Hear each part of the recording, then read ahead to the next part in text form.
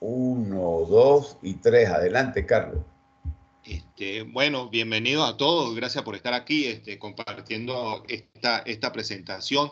Eh, es parte de, mi trabajo doctoral denominado Implementación del algoritmo Lambda HSSC, HSSC eh, un algoritmo para caracterización de, de estructuras de acuerdo al consumo energético en el contexto semi-supervisado en Machine Learning. Eh, mi nombre es Carlos Quintero y estoy trabajando de la mano con el profesor José Aguilar, como ya les comenté, como parte de, este trabajo o de mi proyecto doctoral. La presentación eh, la, basé en cinco elementos, en lo que les hablo de la introducción, eh, objetivos, el fundamento de la propuesta en la cual nosotros estamos trabajando, los experimentos en los cuales son sometidos a estudio y al final mostramos los resultados que hemos obtenido hasta el momento. Eh, parte de, la, de, la, las técnicas de Machine Learning pueden ser vistas como, técnicas en, en las cuales se, se acerca del descubrimiento de conocimiento oculto en un conjunto de datos o también descubrir, eh, comportamientos eh, o patrones de comportamiento en un conjunto de datos. Las técnicas de Machine Learning, de alguna manera, las podemos clasificar en tres grandes aspectos. Eh, aprendizaje o modelo supervisado, en la, cual consta eh, de que un conjunto de, de, de características este, están asociados a una etiqueta, a una respuesta conocida, y en ese sentido hay, hay varias propuestas o varios modelos, la cual podemos destacar regresión logística, regresión lineal, máquina de soporte vectorial, eh, redes neuronales, neuronales perdón, random forest, y eh, se destaca también eh, una, una, familia de algoritmos denominados Lambda, que es el acrónimo de eh, algoritmos de aprendizaje para análisis multivariado de datos. Esos algoritmos Lambda, su, tutor, su creador ha sido el profesor Aguilar, y han, han, han tenido gran auge porque han tenido varias versiones en las cuales han sido mejoradas. Originalmente, lo que nosotros denominamos lambda clasificación es el algoritmo de alguna manera original para, el contexto de clasificación. Han habido diversas mejoras, entre las cuales podemos destacar el lambda hat, en la, en la cual eh, eh, trata de disminuir el, número de elementos no clasificados, que es denominado lambda hat, y también ha tenido una, una bastante propuesta y es uno de los elementos que, que forman parte de, del insumo de, de, nuestro trabajo. En lo que se refiere al aprendizaje no supervisado, es una de alguna manera la contraparte de, de lo que les había mencionado y en este aspecto voy a tener un conjunto de características y esas características, a diferencia del otro, eh, no están asociadas a ningún tipo de respuesta o la respuesta es desconocida. Entonces, este, eh, los modelos de aprendizaje no supervisado se basan en conformar clústeres o grupos en la cual eh, con la característica de que dentro de ellos sean lo más compactos posibles y entre ellos este, sean lo más heterogéneos posibles. Los ejemplos, los modelos vistos de este tipo de aprendizaje tenemos el K-means, el árbol aglomerativo jerárquico, el DB-scan y las, medias difusas.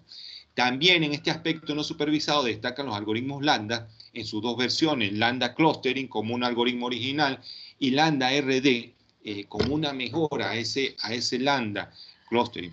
Este, de algo, eh, este Lambda RD, una de las mejoras que, que, se imponen o que, que, se, que se innova en este, en este modelo es que tiene un módulo de fusión automática de clúster, porque una de las críticas que se, o una de las observaciones que se le hace a este tipo de algoritmo es que tiende a, a, construir muchos clústeres, eh, más de los deseados o más de los que realmente se, conforman en, la vida real. Entonces, eh, este módulo, este Lambda RD, contiene un módulo de fusión automática, lo que hace es mitigar el, hecho de crear tantos eh, grupos no deseados. Y el tercer aspecto, el, aprendizaje no supervisado, es una combinación de datos supervisados, lo que también llaman datos etiquetados, con datos no supervisados o datos no etiquetados. Entonces voy a tener en este sentido una matriz de datos con datos etiquetados y no etiquetados. Y en este sentido, eh, o en este tipo de aprendizaje, eh, el Machine Learning de alguna manera eh, está enfrentando un nuevo reto de trabajar o en innovar o crear modelos o métodos que, trabajen con este tipo de, aprendizaje. Eh, realmente eh, eh, ha sido muy escaso los modelos encontrados en este sentido y podemos destacar un algoritmo híbrido de heurístico para desarrollo de modelos evolutivos en escenarios de clasificación y clustering, denominado HHA EMCC. Y hay una propuesta de Lambda, que fue la que nosotros desarrollamos, que es denominado Lambda HSCC, eh, de alguna manera el ANDA para escenarios híbridos de clasificación y clustering. Esto, este, eh, este último modelo de Lambda HSC ya lo, habíamos desarrollado en el, a principios de año, lo habíamos eh, defendido a principios de año, y la, cual nosotros hemos obtenido de alguna manera una, una, gran aceptación en cuanto a los resultados. Ahora bien, en base a esto, nosotros, ya va, un momento, en base a esto, nosotros eh, nos, eh, nos preguntamos, o de alguna manera, para darle contextualización a, la propuesta, tenemos que la, extracción de conocimiento en un conjunto de datos, en el caso de apartados o datos etiquetados y no etiquetados, ha sido de alguna manera un reto que, ha venido enfrentando el Machine Learning, puesto que es un, un aspecto que no ha sido muy desarrollado hasta los momentos. Por otro lado, el algoritmo Lambda HSCC, HSCC, en su implementación hemos obtenido resultados satisfactorios en, la, cuando nosotros eh, hemos hecho eh, la implementación en diversos escenarios o tratando de abarcar la mayor variedad de, escenarios posibles, hemos tenido buenos resultados. Por otro lado, en el, en el aspecto, en el consumo energético, a pesar de que nosotros tratamos de diversificar la mayor, eh, los mayores los, posibles escenarios. En el campo energético, los trabajos han sido bastante, eh, bastante reducidos, bastante limitados. Solamente vemos eh, lo que les muestro acá, han sido trabajos en los cuales se, se, se, limitan de alguna manera a, a hacer modelos predictivos de consumo eléctrico, ¿verdad? Por otro lado, y en el caso, la, eh, en el caso particular, cuando se quieren caracterizar las estructuras físicas de acuerdo al consumo eléctrico, siempre la, literatura ha sido bastante escasa en el campo supervisado. Es por eso que cuando bajo estas eh, motivaciones nos planteamos el objetivo de hacer la caracterización de estructuras de acuerdo a variables de consumo energético, haciendo uso del algoritmo nuestro, nuestra propuesta para datos etiquetados o no etiquetados. Cuando, le digo caracterización de las estructuras, realmente la motivación principal que nos, que nos obligó a realizar este trabajo se encontraba referido a, eh, a identificar el tipo de estructuras de acuerdo a sus características de consumo energético. Por ejemplo, eh, yo pudiese, la, idea de, este algoritmo es eh, poder identificar qué tipo de estructura física me estoy encontrando de acuerdo a su consumo. Por ejemplo, puedo decir, el algoritmo es capaz de decir, mira, de acuerdo a, este consumo, esto es una estructura gubernamental, o esto es una estructura escolar, o esto es un, eh, o esto es un parque, o esto es una casa familiar, o esto es un edificio, o esto es un centro comercial.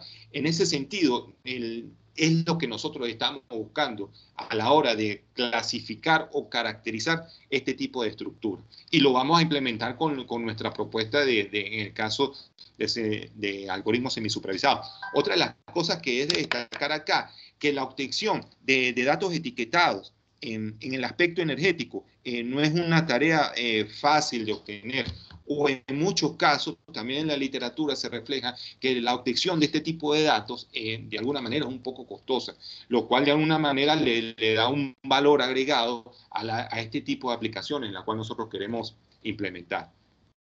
En lo que se refiere a, la, literatura, y lo mostramos acá de alguna manera para, tratar de afianzar la teoría que nosotros eh, queremos demostrar, en el campo de la industria de acero, este autor desarrolla un modelo semi-supervisado de consumo de, energético, eh, eh, llamado Deep Learning Embedded eh, en el contexto semi-supervisado.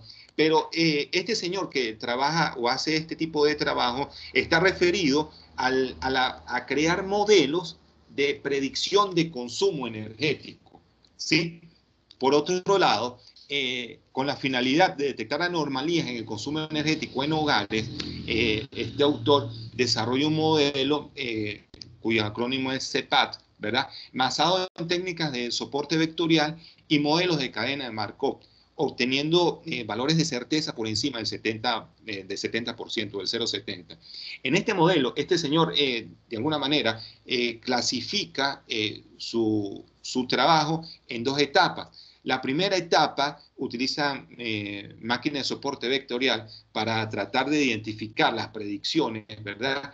Y una segunda etapa utiliza los modelos de cadena de Markov con la finalidad de poder corregir posibles errores que haya tenido en la, en la predicción de la primera etapa. Y por, dio resultados bastante bastante aceptables, si se quiere. Pero nuevamente, en este caso, el señor lo que estaba trabajando acá era eh, detectar las anomalías en, consumo energético en los hogares en tiempo real. Una tercera eh, referencia acá eh, eh, es una revisión de modelos de Machine Learning, tomando en cuenta las características de la estructura, pero nuevamente en base a, con la finalidad de crear modelos predictivos de consumo energético. ¿Verdad? Y tomando en cuenta, o el valor que le está dando acá, es que tome en cuenta las, las, las características de las personas en cuanto al consumo energético. Es decir, tome en cuenta el comportamiento de las personas en el hogar en el momento porque lo estaba haciendo a tiempo real. Entonces, nuevamente, eh, eh, una, esta breve revisión de la bibliografía que les muestro acá eh, dan fuerza a, la motivación del trabajo de nosotros que, que, de alguna manera, si bien es cierto que hay trabajo en, el campo de Machine Learning para el consumo energético, cuando se quiere caracterizar la estructura física en cuanto al consumo energético, de verdad la, literatura es bastante escasa. Ahora bien, les explico acá, eh, eh, de alguna manera, eh, parte de lo que es la propuesta del, basada en los algoritmos Lambda. Los algoritmos Lambda, que es el acrónimo de algoritmos de aprendizaje para análisis multivariado de datos, están basados en, una lógica difusa a través del cual eh, calcula el grado de adecuación global de un individuo a una clase, en el caso de clasificación, o a un grupo, en el caso de clúster. Una, una de, las, de las ventajas, si se quiere, o, o, el espíritu de este tipo de algoritmos lambda, es que a diferencia de los algoritmos tradicionales, eh, que, que, se basa en su criterio de asignación en la distancia de un, elemento a un centroide, este centroide puede estar en una clase o en, un clúster, el espíritu de Landa con el grado de adecuación o los grados de adecuación este, lo traduce en, el cálculo de las probabilidades de un individuo que pertenezca a una clase, pero por descriptor, lo cual es, de alguna manera una gran ventaja que tiene este tipo de algoritmo en el sentido de que de alguna manera puede estandarizar eh, la asignación de un individuo independientemente de que sea una clase o que sea un clúster, porque las probabilidades no están etiquetadas para un evento particular, sino simplemente las probabilidades como un grado de ocurrencia de un evento y en este caso particular de que pertenezca o no pertenezca, y es una de las grandes ventajas que nos sirvió a nosotros para establecer eh, la parte de los algoritmos semisupervisados. El grado de adecuación marginal eh, lo que representa de alguna manera es la similaridad del descriptor de un individuo y el mismo descriptor dentro de un grupo, P. Fíjense que el grado de, adecuación marginal eh, eh, está basado, si, nos damos cuenta, en el, o, lo que traduce es que me va a indicar qué tan probable es que un individuo pertenezca a una clase o a un clúster, dado que están sus características dadas. Fíjense que el, el MAT, de alguna manera, si yo quisiese leer esta fórmula que está acá, no es más que la probabilidad de que ocurra XJ, ¿verdad? dado que hay un P sub R, y ese P sub R no es más que el centroide de la clase o el clúster. Y esto, tal cual como está acá, es un grado, es una función de probabilidad binomial. Entonces, esa función lo que me va a decir, de alguna manera, me va a establecer un criterio para decir, mira, pertenece o no pertenece, ¿verdad? Ahora bien, luego que calculo el grado de, adecuación marginal, este, represento el grado de adecuación global, que no es más que una especie de interpolación con dos operadores eh, que tienen acá eh, T y S, que son interpolaciones lineales que se hacen, ¿por qué? Porque yo aquí lo que estoy calculando acá es el grado de adecuación marginal de cada clase por cada descriptor, ¿verdad? Y entonces me va a decidir qué tan, qué tan probable es, la, eh, es el hecho de que un individuo sea asignado a una clase dado sus descriptores. Bueno, eso, esa interpolación que está acá es lo que me permite discernir hacia dónde puede ir asignado el, el individuo. Este alfa, que está representado en el cálculo del GAT, que es el grado de ecuación global, es un, es un elemento que me permite decidir qué tan estricto eh, o qué tan permisible puede ser la clasificación. Alfa es un valor que está entre 0 y 1, mientras más cercano a 1 se encuentre, más, más eh, estricta va a ser el, el, elemento o el criterio de clasificación. Luego, la asignación de un individuo eh, a una clase, un clúster, ¿verdad? Se va a discernir con el máximo valor del GAT, ¿verdad? Que esté, que esté enmarcado en, en, la ecuación y el GAT de la clase no informativa, que es lo que llaman GAT-NIC. este GAT-NIC eh, surge cuando un individuo no es clasificado en ninguno de los elementos que están previamente establecidos, ¿verdad? Entonces, si la probabilidad de que un individuo o, la, probabilidad de cada uno de los GAT es bastante baja, ah, bueno, entonces ese individuo es, es, enviado a una clase no informativa, a una clase de alguna manera que no va a ser clasificable. Bien, ahora bien, cuando esto, una de, de las observaciones que se le hace a, o que se le hacía originalmente al Landa era que eh, existían de alguna manera muchos individuos o, o una gran proporción de individuos, las cuales eran enviados a la clase no informativa. Bueno, por, e, en ese entonces, o para ese entonces, creo, se, desarrolló lo que llaman el Lambda Hat, ¿verdad? Que lo que hace es crear una, una clase no informativa, ¿verdad? O un valor de criterio no informativo para cada clase. Y en ese sentido lo que hace es calcular de alguna manera, primero, calcular el promedio de los GATS dado por esta ecuación que tengo acá, que les muestro acá, ¿verdad? Luego, este, calcula el, grado de adecuación de ese elemento con respecto al, al GAT. Me explico. Fíjense que cuando yo tengo el, el, el, cálculo del LAT-GAT, que en este caso lo tengo acá, de alguna manera sigue siendo es una, una función binomial que me permite nuevamente discernir qué tan probable es que el elemento, de acuerdo al promedio, pertenezca o no pertenezca a esa clase. Para luego qué? Luego calculo la sumatoria de todos esos GAC que, que yo tengo acá y luego ese va a ser el criterio de decisión. ¿Por qué? Porque voy a calcular el máximo HAT que yo he determinado y luego lo voy a comparar con la clase perdón, con el GAT de la clase no informativa, pero de la clase. En este caso voy a tener un GAT NIT para cada clase, en este caso que, voy a clasificar. Y era, era una de, de las observaciones que, se hacía con el algoritmo original, que tenía una clase o un elemento, un valor de clase no informativa para todas las clases en general, ¿verdad? Lo cual hacía que los, errores de, de mala clasificación aumentaran. Ahora, bueno, con esto lo que yo estoy tratando de, hacer es que voy a crear un, elemento de criterio para la clase no informativa, pero en cada clase.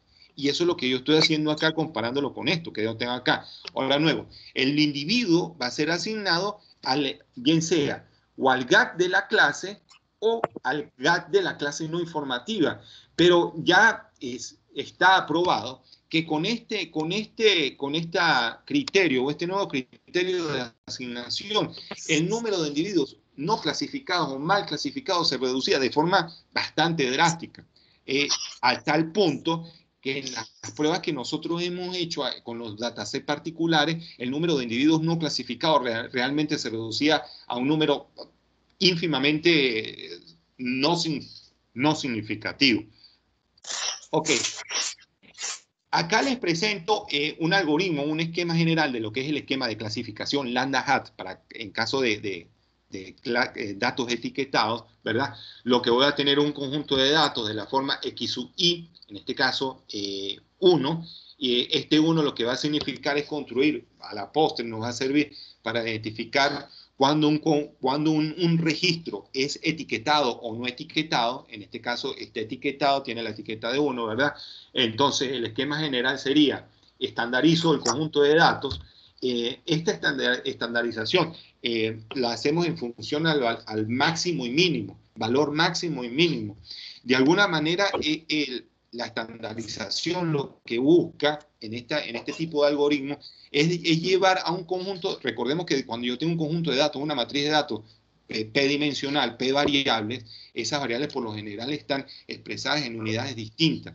Bueno, con la estandarización lo que yo estoy buscando de alguna manera es llevarla en un solo plano, en una, en una sola unidad, estandarización, una unidad estándar de medida para no tener problemas de conversión entre las unidades.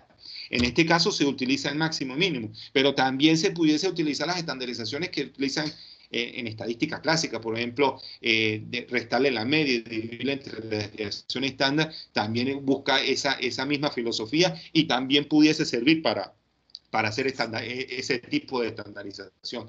Bueno, luego que tengo los datos estandarizados y los tengo identificados como datos etiquetados, calculo el grado de educación eh, marginal, ¿verdad? En cada descriptor por clase, calculo el GAT, ¿verdad? Luego calculo el promedio del GAT, ¿verdad? Determino el GAT-NIC por cada clase, hago la sumatoria de los HAT que he calculado, ¿verdad? Y luego calculo la estimación al cual eh, va a pertenecer el, elemento. Si pertenece, si pertenece al GAT de la clase, el individuo va, a ser asignado a esa clase. En caso contrario, el individuo va a ser nombrado a la clase no informativa. Pero como les dije anteriormente, eh, con, esta nueva propuesta que tiene el HAT, eh, realmente reduce el número de elementos que son mal clasificados. Esto es en el apartado de clasificación. En el apartado de clustering, que es lo que es el lambda RG, de alguna manera se percibe el mismo espíritu, ¿verdad? En este caso voy a tener un conjunto de datos no estandarizados, ¿verdad? Eh, perdón, conjunto de datos de la forma X Y, Y donde en este caso si es cero me está indicando que es un dato no etiquetado, realizo la, respectiva estandarización, ahora voy a calcular el grado de adecuación marginal robusta con una función, en este caso con la difusión de Cauchy, calculo un factor de penalidad. De alguna manera, con este factor de penalidad, también estoy reduciendo eh, la, misma observación que se le hacía al HAT. En, eh, una de las observaciones que se le hacía al, Landa originalmente era que creaba muchos clústeres de más, ¿verdad? Entonces, ¿qué es lo que estoy buscando? reducir el número de clústeres que se están creando de forma adicional y que realmente no, no lo conforman, ¿verdad? Y eso lo hago que con un factor de penalidad, que es un valor que este, es introducido por, por medio de calibración a través del usuario, ¿verdad? Y luego calculo el grado de adecuación marginal robusto en el RMAT. Luego sigo el mismo espíritu del lambda hat, calculo el GAT en función ahora a los RMAT que yo tengo acá, ¿verdad? Luego ese GAT que va a ser un GAT por descriptor y por clúster, lo voy a comparar con el GAT de la clase no informativa, ¿verdad? Si el, si el elemento es clasificado como elemento de clase no informativa, en este caso pasa a ser un miembro, pasa a ser el primer miembro de un nuevo clúster. Y en caso contrario, pasa a ser miembro de un clúster de un clúster existente, ¿verdad? En este caso, de alguna manera, cuando no es de alarmarse cuando un elemento pasa a ser miembro de un clúster nuevo, porque por lo general ese clúster va a ser existente. El problema es que cuando ya yo tengo los clústeres conformados, siga eh, el algoritmo de alguna manera tienda a seguir creando clúster eh, de forma eh, más de los que realmente están, están, están dados. En ese sentido, en Lambda RD para tratar de mitigar nuevamente este tipo de, observaciones, este, crea un módulo de fusión automática de clúster, ¿verdad? Y este modo de fusión, de fusión automática lo que hace es crear, determinar si, hay, si existe solapamiento entre dos clústeres, ¿verdad? Y existe una área densa de elementos de solapamiento, ah, bueno, entonces voy a tratar de fusionar esos dos clústeres. Y de alguna manera voy a, mitigar esa, esa, eh, eh, esa tendencia del algoritmo a crear clúster de más. Ok, estas son las dos propuestas de, Lambda eh, HAT para clasificación y Lambda RD para, para clústeres. Nosotros realmente lo que hicimos en un principio eh, fue ensamblar un algoritmo no supervisado con la familia Lambda, ¿verdad? Y hasta el momento, de alguna manera, eh, eh, ese, ese ensamble no tiene nada de valor agregado. Valor agregado lo tendría, lo tiene en el sentido de que estamos uniendo dos metodologías, ¿verdad? Y la estamos trabajando como un algoritmo semi-supervisado hasta ahora. Pero adicionalmente, la propuesta de nosotros eh, crea, y ahí sí, de alguna manera, o tiene mayor robustez el, trabajo, eh, tiene tres submódulos que me permiten manipular eh, tanto las clases como los clústeres. Esos módulos son ¿qué? Fusión de grupos, migración de individuos y división de grupos, ¿verdad? Y esto de realmente sí eh, eh, eh, es algo bastante innovador en el sentido de que la literatura, aparte de que hay pocos elementos de, aprendizaje no supervisado, pocas metodologías, muy los que estaban los que estaban desarrollados, muy pocos o casi ninguno se atrevía a hacer las manipulaciones entre clases, clúster, porque no había un criterio que me permitiese tratarlos de forma por igual pues. Bueno, con, la, con, la, con, con, la, con el desarrollo de Lambda y en los grados de adecuación marginal y global que se tratan en, o los trata en términos probabilísticos, bueno, me, me, da, me da el criterio para poder eh, manipular bien sea clúster o clase o clúster. Fíjense que cuando yo creo la, la, el, el, elemento, si el, el, elemento es un dato no etiquetado, en este caso RD, creo una tupla. Una tupla va a estar conformada por quién? Por R, que es el centroide, eh, XUR, que es el individuo, una variable que se llama type, que me va a decir si es clase o clúster, y, un, y una variable name, que me va a decir, indicar si es el, el, número del clúster. En el caso de la, del agrupamiento por clasificación, el PSUR está formado por quién? Por el centroide de la clase, el individuo, el type en este caso va a ser clase y el nombre que va a ser la etiqueta de, la clase. Ahora bien, con, esta, con, esta, con estas tuplas, yo las puedo fusionar, yo las puedo particionar o yo las puedo migrar de un individuo a otro. ¿Por qué? Porque el criterio de asignación simplemente va a ser los grados de probabilidad. Y eso es un, valor, eh, de alguna manera, algo que, se innova en este tipo de, de manipulaciones porque no, repito, las propuestas hasta los momentos, eh, la que mayor recuerdo, lo que hace solamente fusión en el caso de que sean clústeres. Ahora nosotros podemos hacer fusión, migración o diversión, independientemente de su naturaleza que, forman acá. Les muestro acá eh, los criterios que, nosotros utilizamos para hacer las respectivas eh, manipulaciones. La fusión de grupos y los grupos repito, pueden ser clase o clúster, se va a dar cuando se cumplan dos condiciones. Cuando existe un área de solapamiento entre el grupo PSUR y su grupo vecino, ¿verdad? O que la distancia entre dos grupos sea menor que un umbral definido por el usuario. Y vuelvo acá, este, para detectar el, el vecino más cercano de un grupo, ¿verdad? También fue relativamente eh, fácil, o no va a decir fácil, pero sí fue eh, relativamente eh, clara. ¿Por qué? Porque si un grupo, si un individuo es asignado a un grupo X, ¿verdad? Es porque su grado de adecuación es el más alto, ¿sí? Ahora bien, el segundo grado de adecuación más alto me da ya una idea de quién puede ser el vecino para ese individuo en esa clase. ¿Verdad? Entonces, de alguna manera ya teníamos un argumento también para detectar el vecino más cercano. ¿Cuál va a ser el vecino más cercano? Bueno, aquel que en promedio tenga el segundo valor eh, más cercano al, promedio del, elemento en el cual yo estoy estudiando, ¿verdad? Eso con respecto a la, fusión de grupos. Con respecto a la migración de, de, individuos de una clase a otra, la migración de individuos se da cuando se determina que un individuo no pertenece al grupo provisional asignado es decir, pertenece al grupo más cercano.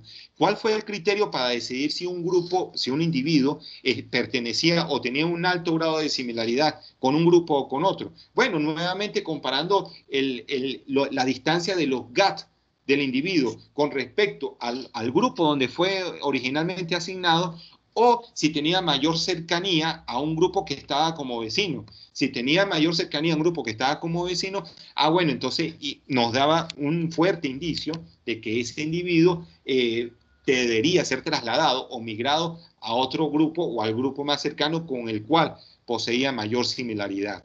Eso con respecto a la migración de individuos. Y en lo que se refiere a la división de grupos, ¿verdad? La división de grupos eh, se hacía eh, buscando el criterio de que les explicaba en un principio. Cuando yo conformo un grupo, bien sea clase o clúster, eh, lo que busco es que ellos sean bastante compactos dentro de ellos y, y, bastante heterogéneos entre ellos. Bueno, basado en ese criterio yo voy a decir, bueno, un grupo lo voy a particionar cuando, cuando tenga una variabilidad mayor a la variabilidad promedio de todo el conjunto. ¿Y cómo lo detectaba? Bueno, simplemente determinaba el grado de compactación de cada grupo, ¿verdad? Eso me permitía calcular el grado general promedio de todo, de todo el sistema y aquellos grupos que tuviesen una variabilidad de dos desviaciones estándar mayor a la variabilidad promedio, ah, bueno, entonces esos grupos eran candidatos a dividirse. Entonces, para calcular esas medidas, eh, nosotros utilizamos la suma de cuadrados dentro del clúster como medida de compactación y la suma de cuadrados entre clúster como una medida de, lo que llaman separación. Y esos fueron los criterios que nosotros utilizamos para, para, la manipulación, en este caso de la de partición de grupos. Una vez que yo tengo el, el algoritmo o mi metodología desarrollada, lo que hicimos fue darnos la tarea de buscar un conjunto de datos que me permitiese este, cumplir con los objetivos que, nosotros nos habíamos propuesto. En un principio, eh, lo que estábamos buscando era un conjunto de datos eh, que se encuentre referido a variables de consumo energético, ¿verdad? Pero que a su vez tuviesen las etiquetas que me, que me las etiquetas de la descripción física. Por ejemplo, que tuviese una etiqueta que me pudiese decir, bueno, este individuo es un edificio, este individuo es una casa unifamiliar, este individuo eh, pertenece a un parque, este individuo pertenece a una escuela, este individuo pertenece a un centro comercial. Bueno, buscando y buscando nos encontramos con dos, dos datos, dos conjuntos de datos que se, que se que se prestaban para ese fin. Eh, los datos eh, eh, se encuentran en, una, en, un repositorio de datos, no necesariamente son de Machine Learning, llamado Kaggle, dentro de la referencia, podrán ver la, la, dirección. Realmente lo que nosotros fuimos, hicimos fue detectar dos conjuntos de datos. El primero, que se llama Chicago Usage, ¿verdad? que lo que me presenta caracterización de siete estructuras, ¿verdad? de la ciudad de Chicago de acuerdo a 13 descriptores de consumo energético. ¿verdad? El otro eh, se encontraba referido a uno que se llama eh, Enjoy Power, eh, que caracteriza a 11 estructuras, ¿verdad? De acuerdo a dos descriptores. Entonces, ¿qué fue lo que nosotros hicimos? Como la idea era, era trabajarlo desde el aspecto semi-supervisado, e inicialmente nosotros teníamos todos los datos etiquetados, bueno, nosotros lo que hicimos fue una eliminación aleatoria del 25, 50 y 75% de los datos, ¿verdad? Y lo dejábamos de, esa manera, con, con, etiquetas y sin etiquetas, ¿verdad? Esos, esos dos que están acá son los que les acabo de escribir. Entonces, por eso es que les, menciono acá, etiquetas originales del dataset. Ahora bien, eh, cuando, cuando empezamos a, de alguna manera a graficar eh, los datos para ver si, algún, si se identificaba algún, eh, algún comportamiento o algún patrón de comportamiento de forma visual, es decir, que yo visualmente pudiese identificar grupos, no, nos dimos o nos encontramos con la sorpresa de que no había ningún tipo de, de comportamiento o de patrón de comportamiento, sino simplemente cuando yo graficaba estos dos datasets de, de forma original, eh, lo que encontré era una nube de puntos negros en, todo, en todos los cuadrantes XY y, eran realmente bastante numerosos. Eso no, no antes de, aplicar entonces la, metodología, no, nos dimos a la tarea de alguna manera de hacer como un preprocesamiento de datos. ¿En qué consistía este preprocesamiento de datos? Bueno, simplemente eh, primero identificar o eliminar aquellos valores que eran outliers, ¿verdad? Que, es uno de los requisitos de, preparación para, para técnicas de Machine Learning, Eh, eliminamos aquellos valores que eran faltantes o eliminamos las variables que eran, eh, tenían valores faltantes, ¿sí? Porque no, no, no, no, no, no, no íbamos a, estar diseñando técnicas para, estimación de datos faltantes. Y por otro lado, también se eliminaron los registros que presentaban comportamientos duplicados. Y esos registros de comportamiento duplicado se basaban porque en fechas distintas el, el, el, el individuo tenía el mismo comportamiento. Y fue algo que nos dimos o detectamos cuando empezamos a, a ver los comportamientos que de alguna manera se agrupaban dentro de un mismo, excesivamente dentro de un mismo, dentro de un mismo punto. Entonces, inicialmente esta, estas bases de datos que les menciono acá constaban de más de 7.000 registros. Y con la depuración, con la depuración que se fue haciendo filtro por filtro, eh, se fue eliminando descriptores y se fue eliminando registros hasta llegar de alguna manera a esta, esta cantidad que nosotros teníamos acá. Ahora bien, cuando teníamos la cantidad, antes de llegar a esta cantidad, eh, nos dimos a la tarea que a través de un análisis componentes principales, de identificar visualmente cuáles eran los grupos que realmente tenían algún tipo de comportamiento desde el punto de vista visual. Entonces, es por eso que aquí tenemos cuatro datasets, pero realmente eh, son dos originales con etiquetas originales y son dos con etiquetas que nosotros propios le creamos producto de un análisis multivariado en la cual sí, me, me, pudiese reflejar eh, o el algoritmo pudiese tener o presumimos que pudiese tener éxito en la identificación de, de, los grupos.